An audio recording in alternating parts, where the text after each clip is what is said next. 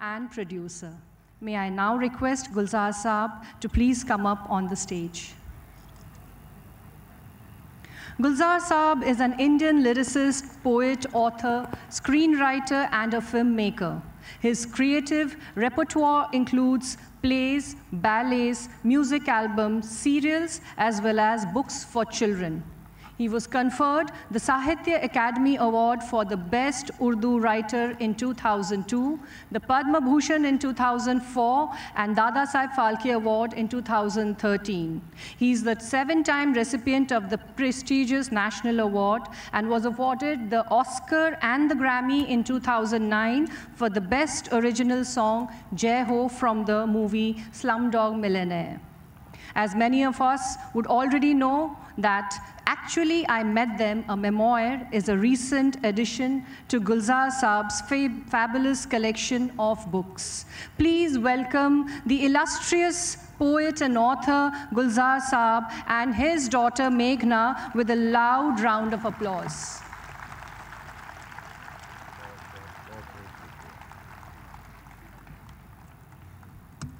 Uh, good evening, everybody. Um, General Pandey, all ranks of headquarters, Eastern Command, um, esteemed veterans of the 71 war, and ladies and gentlemen, other esteemed guests. It is truly a privilege and an honor that we have been invited to be a part of this uh, glorious celebration um, of a wonderful chapter in the history of our armed forces.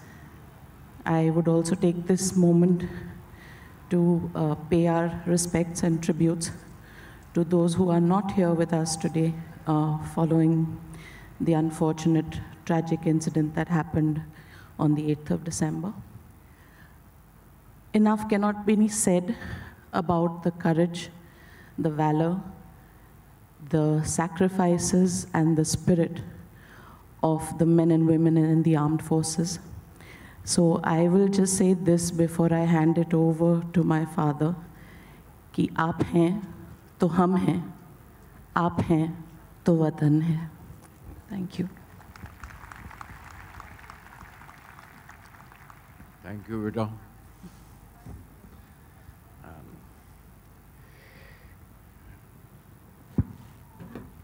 माफ़ कीजिएगा, मैं अगर हिंदुस्तानी में बात करूँ, इजाज़त है। कि थोड़ी सी बेतकल्लुफ़ी शायद मेरी आवाज़ में सुनाई दे जाए आपको। जिस माहौल से उठा के मुझे बुलाया गया है, उस माहौल में सबसे बड़ी बात जो महसूस होती है यहाँ आपके सामने आकर वो ये है कि बड़ा फ़ख्र महसूस होता है कि मैं हिंदुस्तानी हूँ। मैं हिंदुस्तान में पैदा हुआ और ये भी एक हल्का सा ख्याल आता है। माफ़ कीजिएगा मेरी बेतकल्लुफ़ी। मैं अपने फ़ौजी जवानों से और उस्तादों से और ऑफिसर से और तमाम और जनरल साहब से ख़ास तौर पे सामने बैठे हैं। मैं उनसे इजाज़त लेकिन ये कहूँ कि उस वक्त अफसोस ये हुआ मुझे, एक मिनट के लिए आप यहाँ आ जाइए। कि मैं शायरी क्यों करने लगे? मैं शायर क्यों मैं फ़ौज में क्यों ना भर्ती हो गया? आपके साथ परेड करते, कुछ सीखते, कुछ इस देश की सेवा करने का मौका मिलता। इस मौके पर मैं एक बार फिर जनरल मनोज पांडे जी आपको और ईस्टर्न कमांड के तमाम रैंक्स का शुक्रिया अदा करता हूँ कि आपने मौका दिया मुझे यहाँ आने का। और मुबारकबाद देता हूँ अपने तमाम आर्मी फौजियों के तमाम फोर्सेस के सिपाहियों के साथ, फौजियों के साथ। ये मौका मिला मुझे आपसे बात कहने का। और ये पचासवीं विजय दिवस की सालगिरह की मुबारकबाद देने का मौका मिला।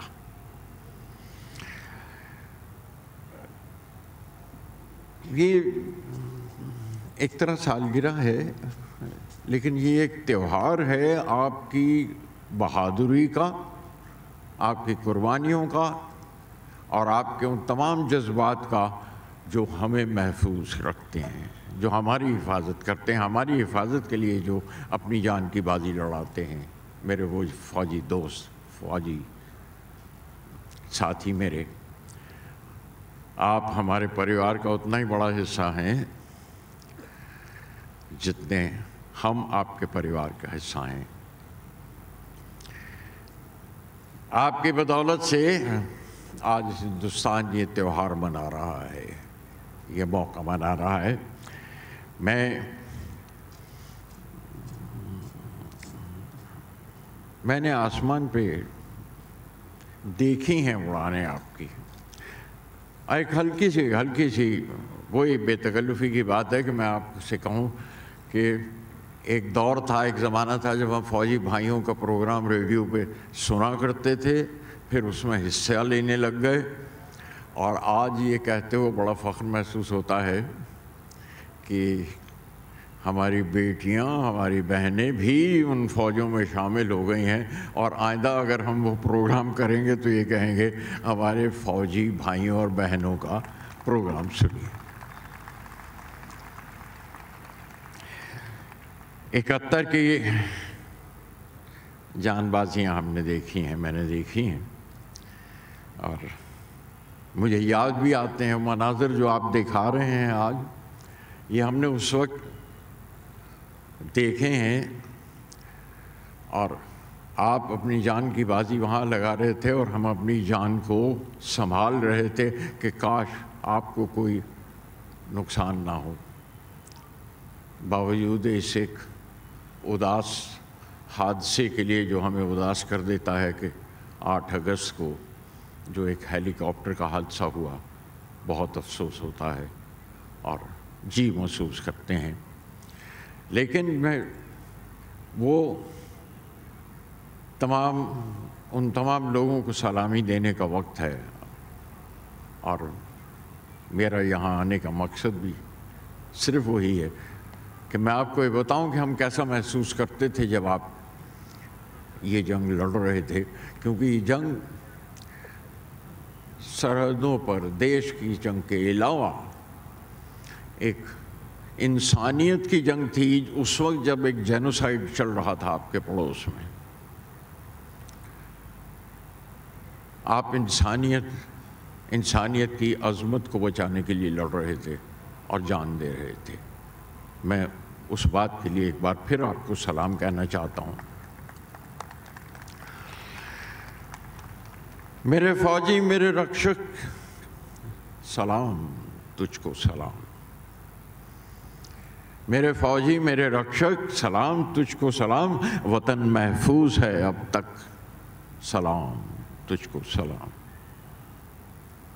ज़मी हो, आसमां हो या समंदर हो, ये तमाम मंज़र जो आप देख रहे हैं, ये हम देख रहे थे उस वक्त भी, और दिलो जान से उस वक्त ये कहा है, और उस वक्त ये महसूस किया है जो मैं आपको पेश कर रहा हूँ। मेरे फौजी, मेरे रक्षक, सलाम, तुझको सलाम। वतन महफूज है अब तक। सलाम, तुझको सलाम। वज़न ज़मी हो, आसमां हो या समंदर हो, वतन का पासवां है, तू जहाँ भी है। ज़मी हो आसमां हो या समंदर हो, वतन का पासवां है, तू जहाँ भी है, अकेला तू नहीं, हम हैं मेरे फौजी, तिरंगा तू है, तू हिंदुस्तान भी है। हुई आधी सदी, जब तू यहाँ से गुजरा था, यही सरजमीन थी, यही मट्टी थी। हुई आधी सदी, जब तू यहाँ से गुजरा था, धड़कती है ज़मी अब तक, सलाम। तुझको सलाम। मेरे फौजी, मेरे रक्षक, सलाम। तुझको सलाम। अभी तक आसमां पर कुछ लकीरें हैं। यकीन मानिए, वो लकीरें देखी हमने। जब आपके प्लेन्स आसमान पर से गुजरते थे और चक्र काटते थे और लड़ते थे और कलाबाजी खा जाते थे और लगता था कि जैसे हाथ पर लकीरें खींची हैं, ये हिंदुस्तान की लकीरें लिख रहे हैं, तकदीर लिख रहे हैं वहाँ पे आसमान पर। अभी तक आसमां पर कुछ लकीरें हैं, उड़ानों से लिखा इतिहास का कोई। अभी तक आसमां पर कुछ लकीरें हैं उड़ानों से लिखा इतिहास है कोई, समंदर से तेरा विक्रांत गुजरा था, किनारों तक लिखा विश्वास है कोई। जवान जब सरहदों पर जम के लड़े थे, वतन को याद है अब तक, सलाम तुझको सलाम, मेरे रक्षक मेरे फौजी, सलाम तुझको सलाम।